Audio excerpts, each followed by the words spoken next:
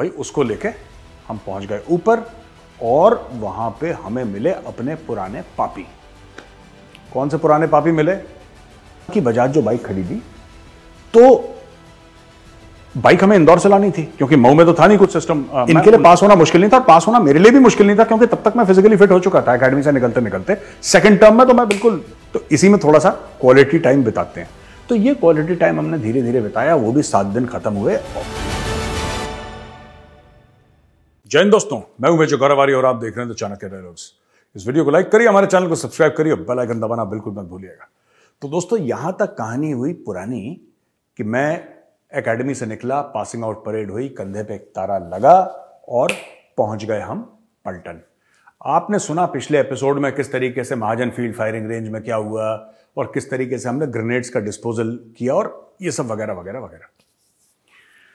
अच्छा जी, अब इसके बाद हमें बोला कि तुम जाओगे मऊ। अब मऊ का नाम हमने सुना था कि वहाँ पे वायो कोर्स होता है लेकिन कभी मतलब जाने का मौका नहीं मिला मऊ। तो फिर एडजुडेंट थे हमारे आ, उस जमाने में मेजर डीडी बलोनी जो बाद में कर्नल डीडी बलोनी बन के रिटायर हुए और वो अभी देहरादून में रहते हैं।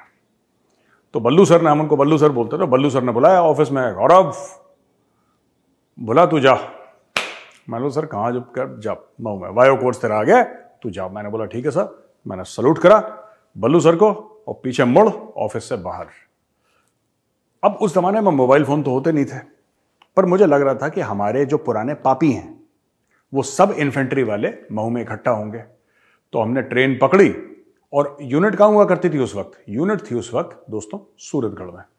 तो हमने खटर पटर खटर पटर ट्रेन पकड़ी और किसी तरीके से पहले दिल्ली गए, फिर दिल्ली से हमने इंदौर वाली ट्रेन पकड़ी इंदौर में। इंदौर जैसी हम उतरे, वहाँ पे बस खड़ी थी आर्मी की और आर्मी की बस में हम लोग चढ़े और वो हमें ले आई। तीस पैंतीस किलोमीटर का सफ़र करते इंदौर से मऊ। तो ऐसी बड़ी लंबी लंबी ऐसी बैरिक्स थी, उसमें रूम्स बने हुए थे। तो बोला कि ये यहाँ पे कमरा, यहाँ पे कमरा, वहाँ पे कमरा, साथ में ट्रंक था। तो भाई उसको लेके हम पहुँच गए ऊपर। और वहाँ पे हमें मिले अपने पुराने पापी। कौन से पुराने पापी मिले? अमरदीप सिंह बाली और एपी सिन्हा, यानी कि आनंद प्रकाश सिन्हा, अपने पुराने पापी एकेडमी वाले। तो बड़े उनसे झप्पी छप्पी यार वो सही बात है, अपने यारों दोस्तों से नहीं मिले होते, इतने समय और यूनिट में तो अलग से चाबी होती है। तो वहाँ पे सब लोगों ने फिर अपनी कहानियाँ सुनाई और हमने बोला कि यार देखो सुनो, एक काम है हमने मज़े मारने अपने कोर्स में, क्योंकि हम मिले थोड़े इमोशनल टाइप के बाली भी ऐसा ही, सेना भी ऐसा ही, मैं भी ऐसा ही। तो हमने बोला, नहीं यार यार दोस्तों से मिले and we must have a party तो वहाँ पे हम लोग पढ़ाई भी करते थे कोर्स भी चल रहा था, और मतलब हम लोग अपने मज़े भी करते थे। अच्छा कोई भी आर्मी का कोर्स होता है ना, उसमें दो किस्म के लोग होते हैं। एक वो होते हैं जो बड़े सीरियस होते हैं कि भाई हमें इंस्ट्रक्टर ग्रेडिंग लेकर जानी है और हमें ए चाहिए, हमें डेल्टा चाहिए। ए मतलब जो instructor I is for instructor तो जो कोर्स में एक या दो टॉप के होते हैं ना, पूरे कोर्स में जो टॉप करते हैं, उनको वापस बुलाया जाता है कि अब तुम सिखाओ। आर्मी में जो गुरु है ना, जिसको हम सिविल में गुरु कहते हैं टीचर कहते हैं, उसकी बहुत इज़्ज़त है फौज में। और इज़्ज़त खोखली इज़्ज़त नहीं है। खोखली इज़्ज़त नहीं है कि गुरु जी वैसी इज़्ज़त नहीं, खोखली मतलब कि उसकी अपॉइंटमेंट होती है, उसकी पोस्टिंग होती है। जो ऑफिसर कोई कोर्स टॉप करता है, उसकी इंस्ट्रक्टर ग्रेडिंग जो उसको मिलती है, फिर वो आता है। तो जो सिखाते हैं, जो सिखाते हैं फौज में ना they are the best of the best ये आपको एक बात समझ, मैं आपको बैकग्राउंड बता रहा हूँ पूरा। तो ये कार्रवाई शुरू हो गई। और दिन भर साइकिल से जाना, साइकिल से इधर, साइकिल से उधर, ये सब। बाइक शाइक तो थी नहीं हमारे पास। जिनके पास बाइक थी बाइक से जाते थे, हम लोग धीरे धीरे अपनी साइकिल में पैडल मार के जाते थे। अच्छा कभी कभी इंदौर चले गए, क्योंकि महू का बाज़ार तो ऐसा कुछ था नहीं खास, लेकिन कभी कभी इंदौर चले गए। तो इंदौर जाके बड़ा मज़ा आता था, क्योंकि कोई कहीं से आ रहा था, कोई कश्मीर से आ रहा था, कोई असम से आ रहा था, कोई कहीं से आ रहा था, और भाई हमें तो इतना आइडिया था नहीं कि होता क्या है, कैसे होता है मतलब ये बड़े शहर को कई लोगों ने देखा नहीं था। तो कई महीनों से नहीं देखा था तो आइडिया मतलब वो दिमाग से ना चीज़ें चली जाती हैं दोस्तों। आप आप सोचेंगे दिल्ली वाला लड़का है, ज़िंदगी भर दिल्ली। आप दिल्ली के लड़के को छह महीने लाइन ऑफ़ कंट्रोल में डाल दीजिए। उसका इतना डिसोरिएंटेशन होगा कि जब वो वापस दिल्ली आएगा ना छह महीने के बाद, उसको लगेगा पता नहीं कौन सी माया नगरी में आ गया। क्योंकि इट्स ह्यूमन ब्रेन तो क्या हुआ? हम लोग चले जाते थे वहाँ पर। इंदौर चले गए घूमने के लिए। तो इंदौर को मिनी बॉम्बे भी कहते हैं। तो हमें पहली बार हमने वर्ड सुना, मिनी बॉम्बे। तो हमने खूब घूमा वहाँ पे सब कुछ। अच्छा फिर हमारी भी चलो यार कि हमें भी बाइक चाहिए, हम बाइक खरीदेंगे। तो मेरा एक दोस्त हुआ करता था। उसके बारे में मैं बाद में बताऊँगा। बड़ी लंबी चौड़ी मेरी खुद की स्ट्रगल की कहानी है, किसी आगे वाले एपिसोड में सुनाऊँगा। उसका नाम था रमनदीप सिंह। ठीक है? और रमनदीप जो है, वो बिल्कुल इतनी बड़ी पग पहनता था। बिल्कुल ना जैसे केपीएस गिल साहब पहनते ना वैसे केपीएस गिल तो रमनदीप सिंह वैसी पग पहनता था और खूब मतलब थोड़ा सा हैवी सेट था। और रमन की एक वेलवेट की कंपनी थी, जिसका नाम था निरंजन डेकोफ्लॉक्स। और नरेला में उसका फैक्ट्री हुआ करती थी। तो हम तो ऐसे ही थे मिडिल क्लास फैमिली के, वही था हम में से अमीर तो मैंने बोला, ला भाई पैसे। तो उससे मैंने अपने दोस्त से कुछ बोरो करे पैसे, कुछ मेरे पास थे। और मैंने अपनी बाइक खरीदी कावासाकी बजाज कावासाकी बजाज मैंने बाइक खरीदी, ठीक है? अब कावासाकी बजाज जो बाइक खरीदी तो बाइक हमें इंदौर से लानी थी, क्योंकि मऊ में तो था नहीं कुछ सिस्टम मैं उन्नीस की बात कर रहा हूँ 1994 तो वहाँ पे शोरूम में हमने पैसा वैसा जमा करा तो बोला कि साहब, आपकी बाइक आपको लेनी है तो हम फिर बाइक लेने गए वहाँ पे। और मेरे साथ पीछे बैठा बाली और शोरूम से बाइक निकाली और मैं डर डर के मारे ना, मैं बाइक चला रहा हूँ, ठीक है ना? टुक टुक टुक टुक टुक टुक, फिर बाइक बंद हो रही है, क्योंकि डर लग रहा है ना, नई बाइक है। यार, उस जमाने में मेरे हिसाब से आई थिंक चालीस या पैंतालीस हज़ार की बाइक हुआ करती थी वो। इफ़ आई रिमेंबर करेक्टली हो सकता है मैं आपको गलत फिगर बोल रहा हूँ, लेकिन चालीस, पैंतालीस हज़ार की बाइक हुआ करती थी, और मुझे बड़ा डर लगे किसी गड्ढे में जाए ऐसे धक धक धक धक बाली इरिटेट हो गया बीच में। अब बाली ने बोला, हट वीर मैं चलाता हूँ। उसने मेरी बाइक से ही मुझे उतार दिया, बोला, तू पीछे बैठ। फिर बाली बिल्कुल स्टाइल से ले गया। तो हम लोग वापस आए। फिर हमने बाइक में खूब मज़े मारे। हमें तो वो चीज़ ही हजम नहीं हो रही थी, हमें कि हमारी बाइक आ गई। तो ये बाइक सिर्फ़ मेरी नहीं थी, सार्वजनिक थी। इसको बाली भी चलाता था, इसको सिन्हा भी चलाता था, मैं भी चलाता था। और जो दाएँ बाएँ घूमता था, सब इसको चलाते थे। मेरे तेल भरवाते रहे भाई चलाते रहे, जिसको चलानी है। तो ये जो बाइक थी, ये हमने खूब वो करी। अच्छा एक दिन हमें पता लगा कि डिप्टी कमांडेंट चेंज हो गया है। और नया डिप्टी कमांडेंट कोई आ रहा है भाई? कौन आ रहा है? हमें पता ही नहीं था। फिर किसी ने उड़ती उड़ती खबर सुनी हमने किसी से कि ये जो डिप्टी कमांडेंट है ना, जो इन्फेंट्री स्कूल के आ रहे हैं, deputy commandant he is one brigadier N D Jaitley मैंने बोला, यार, ये नाम तो सुना हुआ लग रहा है.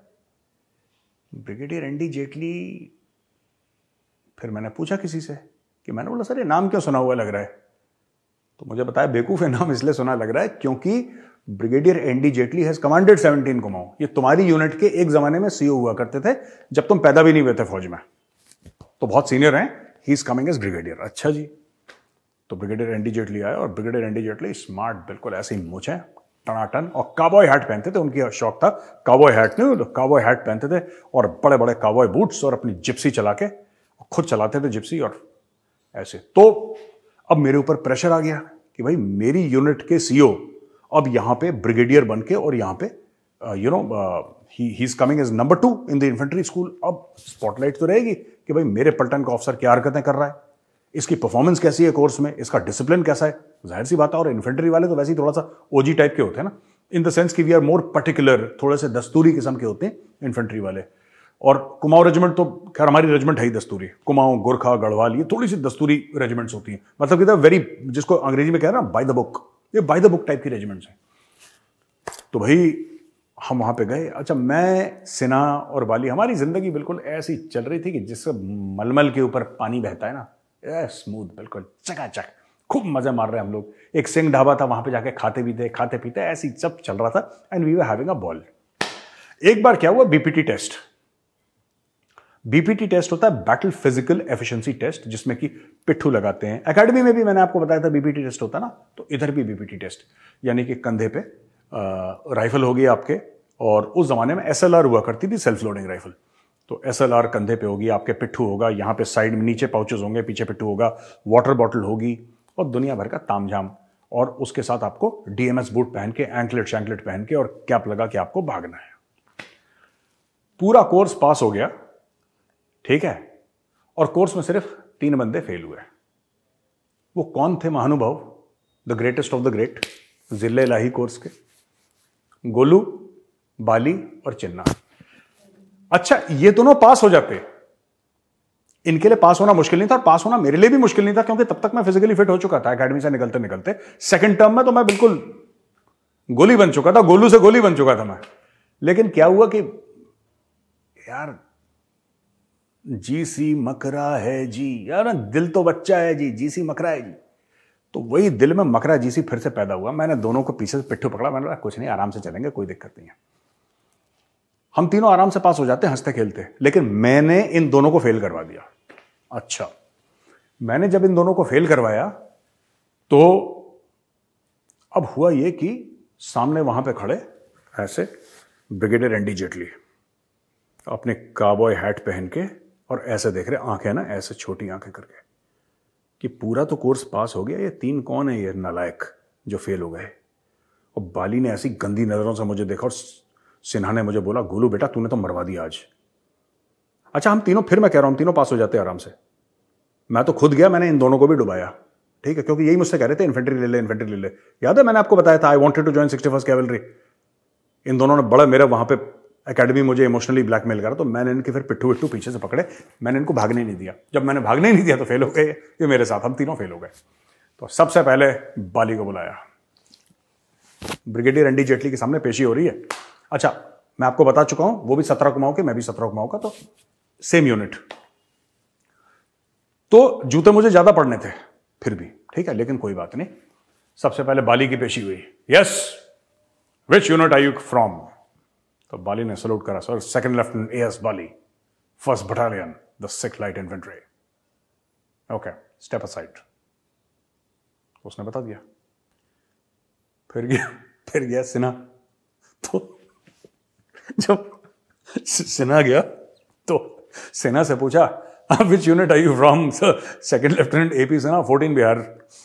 तो सिन्हा को बोला, अब आई मेरी बारी। तो देखा यहाँ पे कुमाऊ लगा हुआ है। कमया बड़े झोका कमया and you what's your name I said sir second lieutenant Gaurav Arya and which unit do you disgrace I said sir yours मैंने मेरे मुँह से निकल गया सर योर्स क्योंकि मुझे पता था वो सत्रह को क्या। कुछ नहीं बोला ब्रिगेडियर एनडी जेटली ने गुस्सा बिल्कुल मुँह पे कि यार, मेरी पलटन का बंदा फेल कैसे हो गया यार? मेरी यूनिट का बंदा ये तो पुराने टाइम के जो सोल्जर्स अभी भी ऐसे ही सिस्टम फौज में, फौज इंडियन आर्मी नहीं बदली, कि मेरी पलटन खराब कैसे हो सकती है, मेरी पलटन का बंदा कैसे खराब हो सकता है? मेरी पलटन में ऐसा कैसे यू नो दैट थिंग कि यानी कि सत्रह कुमा में ऐसा कैसे हो सकता है? या यू नो वन सिखलाई में ऐसा कैसे हो सकता है? फोर्टीन बिहार में ये होता है फौज में। अच्छा हमने तो जानबूझ के करा था ना। हम थोड़ा ना फेल हो रहे थे, हम लोग जानबूझ के फेल हुए थे, क्योंकि हम मज़े आ रहे थे, अब चर्बी चढ़ रही थी हमें तो हम उसमें फेल हो गए। हमें सात दिन बीपीटी भगाई धूप में। वेदर उज ओके क्योंकि विंटर्स थे, लेकिन यार फिर भी विंटर्स में भी दिन में तो दोपहरी में धूप हो जाती है। लंच के बाद तीन बजे हम लोग भागते थे, जब बाकी सब लोग आराम कर रहे होते थे, तीन बजे मैं, सिन्हा और बाली बीपीटी भाग रहे। और जब भी बीपीटी भागते हमें गालियाँ पड़ती। जब भी बीपीटी भागते हमें गालियाँ पड़ती। मुझे गालियाँ पड़ती। किससे गालियाँ पड़ती? सेना और बाली से। तो जब भी बीपीटी भागते, ये लोग मुझे गाली देते। एक दिन भागी, गाली, दूसरे दिन गाली। मैंने बोला, यार, तुम लोग परेशान क्यों हो रहे हो? कह यार, परेशान इसलिए हो रहे क्योंकि तेरे चक्कर में हम फेल हो गए। तूने पीछे से पकड़ लिया हमारे पिट्ठू। तूने पीछे खींच लिया कि नहीं, तुम भागोगे नहीं भागोगे नहीं। हम भाग नहीं पाए, वरना हम भाग जाते तो पास हो जाते। मैंने बोला, पास तो मैं भी हो जाता। लेकिन फिर अपन तीनों को साथ रहने का मौका कहाँ मिलेगा यार? हम लोग कहाँ साथ रहेंगे? हम लोग तो फिर अपनी अपनी यूनिट चले जाएँगे, फिर बिछड़ जाएँगे हम लोग। तो इसी में थोड़ा सा क्वालिटी टाइम बिताते हैं। तो ये क्वालिटी टाइम हमने धीरे धीरे बिताया, वो भी सात दिन खत्म हुए और आगे हम लोगों ने फिर इन्फेंट्री का अपना जो कोर्स है प्लाटून वेपन्स है एक्स वाई जेड जो भी है, ये सब हमने अपने पूरे कंप्लीट करे। और वो दिन आ गया जो हम सोच रहे थे कि ना आए कि ये कोर्स खत्म होने वाला है। ये कोर्स खत्म होने वाला है। अच्छा दस्तूरन क्या होता है कि जब कोर्स खत्म होता है ना आपका उसके बाद आपको जाना पड़ता है कमांडो कोर्स जो कि बेलगांव में है। Commando course Belgaum. आपको जाना पड़ता है कमांडो करने के लिए। फिर दिल से निकला मकरा जी सी। तब तक आ, मेरे पास अनुज सर का कॉल आया। अनुज सर ऑफिशिएट कर रहे थे एज एडजुटेंट ठीक है उनका मैसेज आया तो आई कॉल्ड हिम तो उनसे फ़ोन पे बात हुई। वो लैंडलाइन फ़ोन होते होते थे जमाने में तो मेरी सर से बात हुई। मैंने बोला सर गुड मॉर्निंग सर हाँ मॉर्निंग गैरी क्या चल रहा है? गैरी बोलते थे ना मुझे। फौज में ना, मैं आपको बताता हूँ फौज में क्या है। जिसका भी नाम गरेवाल है या जिसका नाम गौरव है तो वो हो गया गैरी। ठीक है? जिसका नाम गरेवाल है और गौरव है, वो तो हो गया गैरी। जिसका नाम चौधरी है या चौहान है, वो हो गया चाऊ। ठीक है? आए चाऊ, ये फलाना तो इस तरीके से नाम तो मुझे तो अनुसर मुझसे अनुज सर मेरे जो सीनियर थे।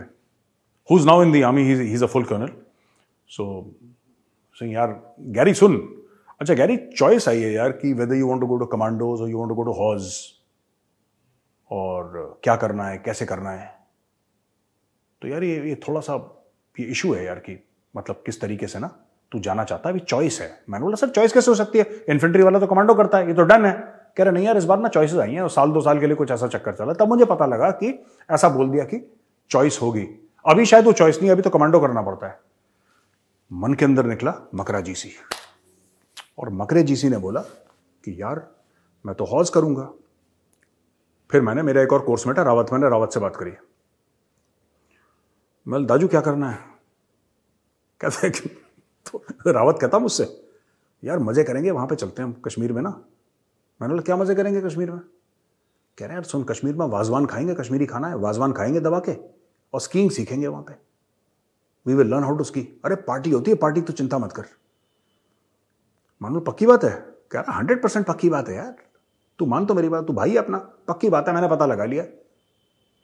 तो मुझे इन लोगों ने चूरन खिला दिया। अच्छा हमने बोला कि यार, कमांडो कोर्स में जाएँगे, दिन रात दिन रात रगड़ा होगा।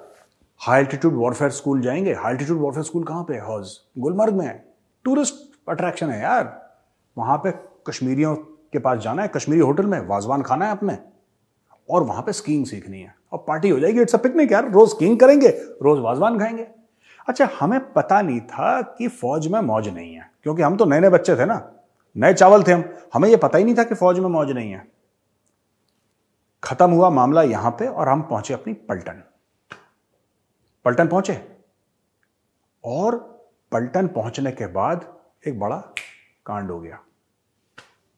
एक बहुत बड़ा कांड हो गया।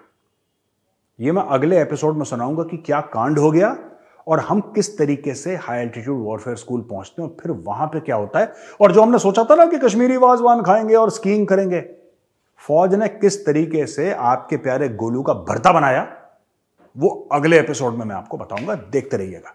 दोस्तों, ये वीडियो पसंद आए तो उसको लाइक करिए, हमारे चैनल को सब्सक्राइब करिए बेल आइकन दबाना बिल्कुल भी मत भूलिएगा। जय हिंद, वंदे मातरम, भारत माता की जय।